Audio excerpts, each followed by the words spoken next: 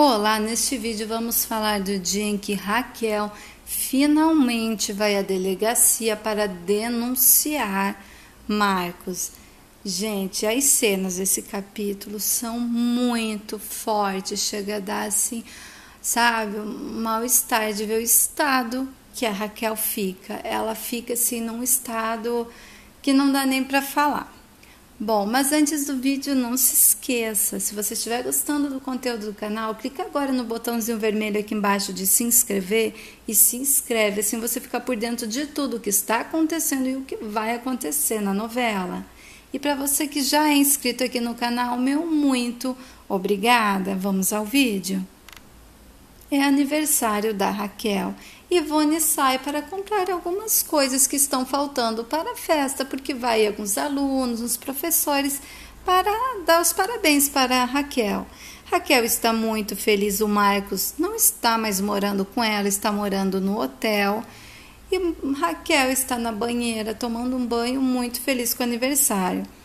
Assim que Ivone está chegando no prédio, Marcos segura Ivone quando Ivone está para entrar no elevador e faz com que Ivone abra a porta da casa para ele. E ele mostra uma, uma arma que está em sua cintura quando Ivone diz que não irá abrir a porta para ele porque ele não tem mais nada a ver com a Raquel e ele faz mal para Raquel. Marcos bate na Ivone e obriga ela a abrir a porta. Assim que Ivone abre a porta do apartamento, Marcos tranca Ivone no quarto dela. E Marcos entra no quarto da Raquel e Raquel, Raquel está escutando música, tomando um banho na banheira. Ela nem escuta que Marcos entrou. Assim que Raquel sai do banho, ela leva um baita de um susto ao se dar de cara com Marcos em seu quarto. E Marcos pergunta para Raquel se vai ter festinha e por que, que ela não o convidou. E Raquel diz que não vai, não vai fazer festinha, que é a Ivone que quis enfeitar a casa e que no máximo irá alguns professores, alguns alunos para dar os parabéns para ela. Nisso toca o celular dela e, e Marcos olha e que é Fred quem está tentando ligar para ela. E Marcos fica completamente alterado. E nisso Marcos olha para Raquel e diz: Eu vou quebrar o pescoço desse moleque se ele não desistir de você. Marcos olha para Raquel, visivelmente transtornado, porque ele é um monstro, um homem nojento, um monstro que chega a dar agonia só de olhar. Bom, a gente sabe que é novela, mas minha nossa, chega a dar um mal-estar de ver aquele homem chegando perto da Raquel. Bom, mas daí Raquel diz para Marcos ir embora e que ela não vai fazer festa nenhuma e que a Ivone que quis fazer alguma coisinha, comprar algumas coisinhas para o aniversário dela. Marcos fica muito nervoso e Marcos diz que quer a Raquel e Raquel diz que é para ele ir embora. E Marcos continua, insiste, diz: Eu não tive mulher nenhuma nesse tempo todo que eu fiquei longe de você. E eu quero você, Raquel. E Raquel diz: Daqui a pouco vai chegar os professores da escola, vão chegar alguns alunos. E eu não quero que você esteja aqui, Marcos. Eu não quero você aqui. E Marcos grita: Eu quero você, Raquel. Raquel diz: Eu tenho nojo de você. Eu tenho nojo dos teus beijos. Eu tenho nojo do teu corpo. Eu tenho nojo de você. Nisso, Marcos pega a raquete e começa a bater horrivelmente na Raquel. É uma cena muito forte, uma cena muito horrível, horrível mesmo. E nisso Ivone fica no quarto dela, trancada, completamente desesperada, sem saber o que Marcos está fazendo com a Raquel. E Fred, ao se dar por conta que a Raquel não atendeu, e ela, ele tentou ligar na casa também, ninguém atendeu. Ele vai rapidamente na casa da Raquel. Ele chega na casa da Raquel e pergunta para o porteiro se Raquel e Ivone estão. E o porteiro diz: sim, elas estão sim. Quem acabou de sair daqui foi o Dr. Marcos. Engraçado que eu nem vi ele entrar. Assim que o porteiro falou que o Marcos estava lá, Fred sobe correndo pelas escadas para chegar rapidamente no apartamento da Raquel. Ele entra no apartamento e está Ivone gritando no quarto dela. Fred corre até lá, solta Ivone e diz: Cadê a Raquel? Cadê a Raquel? Ivone diz: Eu não sei. E os dois entram rapidamente no quarto da Raquel. E ao entrarem no quarto da Raquel, a Raquel está deitada na cama, toda machucada, sangrando, horrivelmente machucada. Ivone se desespera ao ver e Fred também. Fred se aproxima da cama onde Raquel está deitada e Raquel não consegue nem se mexer direito. Gente, é uma cena horrível. Ivone diz: Raquel, eu vou chamar uma ambulância, eu vou chamar um médico. E Raquel diz: Não, Ivone, espera. E Fred diz: A clínica é aqui perto, Raquel, eu sei dirigir. Vamos no teu carro. E nisso Raquel chorando muito. Diz: Não, não, Fred, eu quero ir na polícia. Raquel diz: É na delegacia. É na delegacia que eu quero ir. Ivone diz: Assim, Raquel, assim do jeito que você está. E Raquel diz: É assim. É assim que tem que ser. Fred, por favor, liga para Helena, conta tudo o que aconteceu e pede para ela vir até aqui. Raquel continua muito, nossa, muito machucada, nem consegue falar direito e diz: Eu preciso que a Helena esteja ao meu lado, eu preciso uma pessoa como ela ao meu lado para eu ir denunciar ele. Fred, liga, por favor.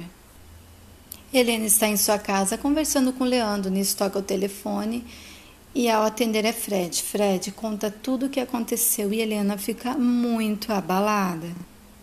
Helena chega no quarto da Raquel. Raquel continua deitada, uh, muito fraca e completamente machucada. Helena olha e, diz: eu, eu não tenho o que dizer diante disso, Raquel. Raquel, chorando muito, olha para Helena e diz: Eu, bom, eu quero ir à delegacia, Helena, mas eu quero assim, assim como eu estou. E Helena diz: Claro, claro, eu levo você, eu levo você, Raquel. Eu levo sim. Raquel olha para Helena e diz: Me desculpa, me desculpa, Helena. Eu não queria trazer para você esse assunto, não outra vez, Helena, mas eu. E Helena diz: não, não peça desculpas, Raquel, não, não peça desculpas, tá? Bom, desde a primeira vez que você me falou sobre isso, eu me coloquei à sua disposição, lembra? Lembra disso? O Leandro, meu cunhado, está aqui, Raquel, e ele vai ir conosco, tá? Eu vou pegar uma roupa e, e, e te trocarei e te visto, tá, Raquel? E Raquel concorda e Helena vai vestir Raquel. Helena ajuda Raquel a ir até a sala e na sala está Ivone, Fred e Leandro. E Raquel fala que não aguenta mais isso, que ela vai denunciar o Marcos sim, que ela cansou de sofrer tanto. Ela ficou calada por muito tempo, por vergonha, por medo vergonha de, de se expor, de falar isso para as pessoas, de contar o que acontecia com ela. E Helena diz para Raquel: Raquel, agora, depois da denúncia que você fizer, se acontecer qualquer coisa por você, com você, ele vai ser o principal suspeito. E Leandro diz: Isso é verdade. E Raquel diz: Bom, eu estou pagando para ver, vamos. E, bom, a partir de agora eu vou lutar para ficar livre dele. E Leandro diz que faz questão de acompanhar elas na delegacia para fazer a denúncia contra o Marcos. E Helena diz para Raquel: então vamos. Helena ajuda a Raquel a andar, porque Raquel não consegue nem andar direito. Raquel, antes de sair, olha para Fred, olha para Ivone, e Fred chorando muito diz: a gente espera você aqui, Raquel.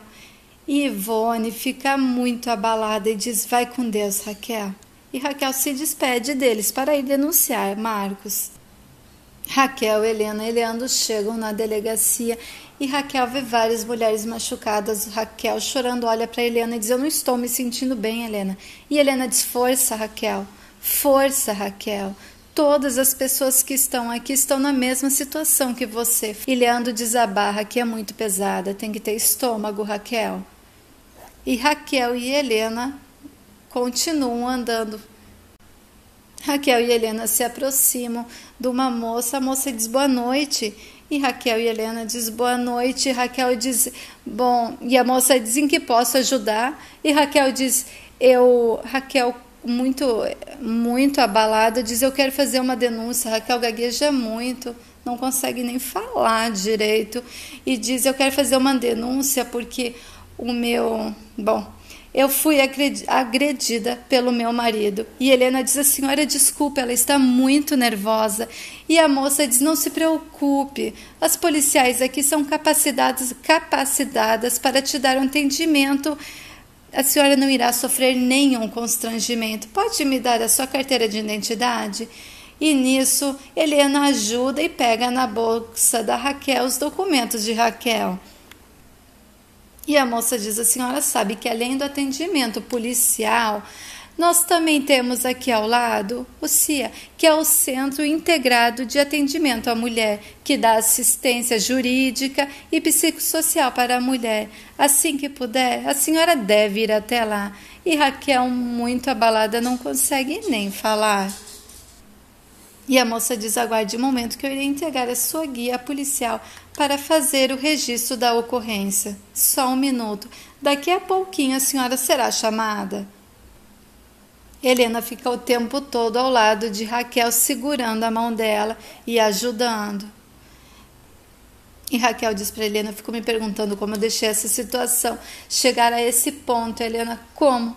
E Helena disse: Eu não sei, Raquel. Eu não sei como você e algumas mulheres se deixam submeter a uma situação como essa, Raquel. Olha, o importante é que você reagiu, tá? Tarde é verdade, muito tarde, mas reagiu.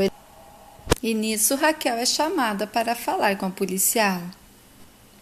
Raquel vai com a ajuda da Helena. Helena vai junto com ela para falar com a policial.